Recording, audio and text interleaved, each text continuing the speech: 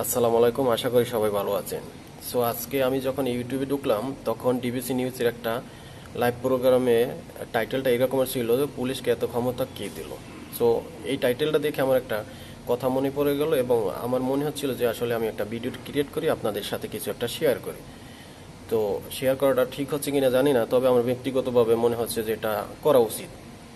আমি এই কোম্পানি থাকা অবস্থায় অনেক সময় রাত্রে তিনটে, চারটার সময় যখন বাসায় গিয়ে বাসায় যাই, তখন অনেক সময় পুলিশের পুলিশকে যখন দেখেছি, তখন আমাদের মনের ভিতর সাহস বেড়ে গিয়েছে যে হয়তো বা চোর বা অন্য কিছু যদি আমাদেরকে অ্যাটাক করে, সেক্ষেত্রে আমরা এখান থেকে রক্ষা পাবো।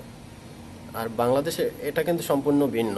হয়তো রাত্রবেলা যদি আপনি পুলিশকে দেখেন, হয়তো আপনি আরও ভয় পেয়ে যাবেন যে হয়তো বা আপনি কোনো একটা বিপদে পড়ে যাচ্ছেন। যাই হোক আমরা সবাই জানি কিন্তু, যখন মানুষ দলবদ্ধ হয়ে যায়, তখন এদের দ্বারা কিন্তু বিভিন্ন ধরনের অপকর্ম সৃষ্টি হয়। এবং যখন আপনি একা একা থাকবেন তখন দেখবেন আপনার দ্বারা ওই যে বলপূর্বক যে কাজগুলো হচ্ছে, যে আপনি কাউকে মারতেছেন বা কারও টাকা ছিনতাই করে নিয়েছেন, এগুলো কিন্তু আপনার দ্বারা সম্ভব না। কারণ আপনি তখন সিঙ্গেল থাকেন। যখন আপনার সাথে পাঁচ সাতজন লোক থাকবে, তখন আপনি চাইবেন যে একজন দুর্বল লোককে আমরা অ্যাটাক করে সেখান থেকে টাকা পয়সা বা ছিনতাই করে নিয়ে যায়।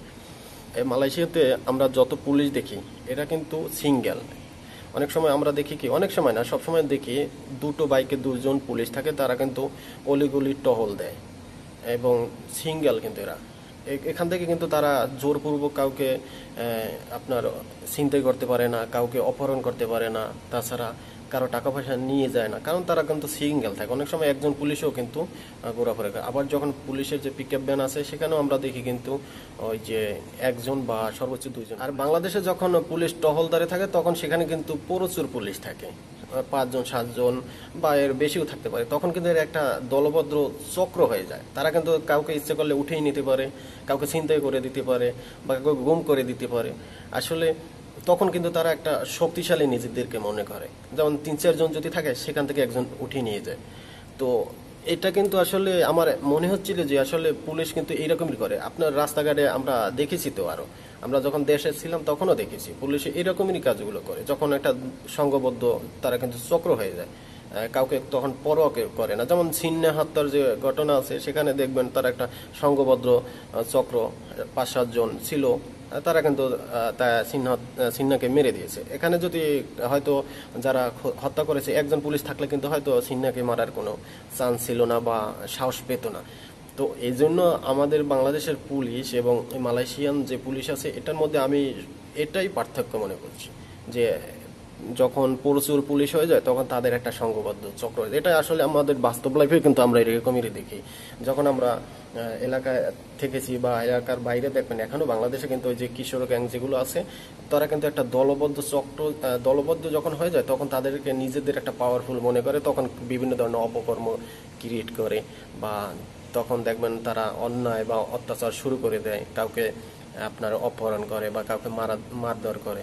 আর যখন একলা থাকবে, তখন দেখবেন আসলে এই যে ক্রাইমগুলো আছে, এগুলো কিন্তু থেকে সকলেই কিন্তু বিরত থাকে বা হয়তো সাহসও পায় না। ডিবিসি নিউজের যে চ্যানেলের যে হেড টাইটেল যেটা ছিল, এটা দেখে আসলে আমার এটাই মনে হচ্ছিল যে আসলে পুলিশকে এত শক্তি কে দিল?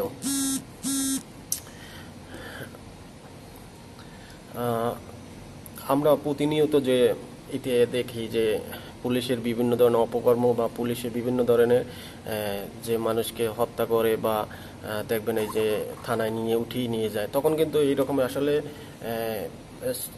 প্রচুর যখন তারা টহলদারে থাকে বা যখন পাঁচ সাতজন পুলিশ একসাথে চলাফেরা করে, তখন কিন্তু এইরকমেরই ঘটনাগুলো ঘটে।